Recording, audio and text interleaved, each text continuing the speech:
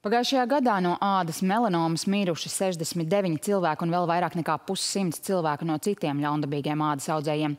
Tomēr slimību profilakses un kontrolas centra speciālisti jaunā aptaujā noskaidrojuši, šī biedējošā statistika nemazina sabiedrībā izplatītos maldīgos uzskatus par sauļošanās ietekmi uz cilvēku veselību.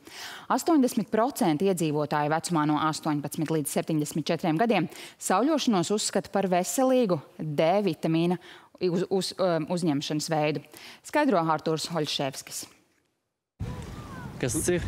Tas ir kaut kāds. Nu, viņš ļoti maz tā aizsardzības praktiski ir. Bet tur ir beta karotīns klāt, un tur bērnam bišķi uzpūš. Tā lūk. Diemžēl grēkoju un nelietoju. Ļoti reti esmu bijis uh, kalnos, un tad es esmu lietojis uh, vasaras sezonā, bet tā es uh, nelietoju. Latvijas iedzīvotāji uzturēšanos saulē neuzskata par bīstamu, secināt slimību profilakses un kontroles centra veiktā aptaujā. Vairāk nekā puse aptaujāto uzturoties saulē nelieto aizsargkrēmu. Trešdaļa cilvēku aizsargkrēmu nelieto pat mērķtiecīgi sauļojoties, bet vēl 15% iedzīvotāju uzskata, ka aizsargkrēms ir kaitīgs veselībai. Patiesībā ādas audzēji ir viena no biežākajām onkoloģiskajām slimībām.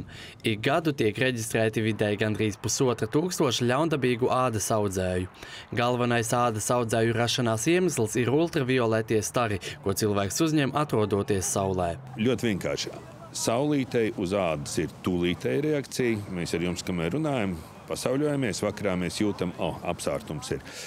Pēc nedēļas izveidojās iedegums.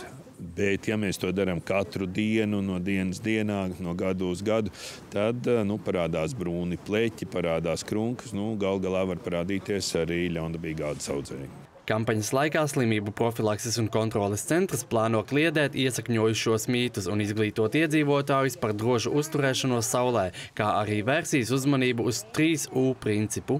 Uzklāja, uzvelc uzmanies, tāpēc, ka mēs varam redzēt to, ka sabiedrība saulē kad sabiedrība neuzskata, ka sauļošanās ir kāds veselības risks. Neaizmirstam saules brilles, jo acis ir jāsargā no ultravioletiem stariem. Paņemam līdzi cepuri un atklātām ķermeņa daļām paņemam arī saules aizsargkrēmu. Nu, un karstās dienās vēl paņemam arī ūdeni, lai nepārkarstu. No saules stariem visvairāk jāizvairās no pulksten 10 līdz 16, jo tad ultravioleto staru iedarbība ir visspēcīgākā. Artūrs Oļševskis, Igors Stāts, Latvijas televīzija.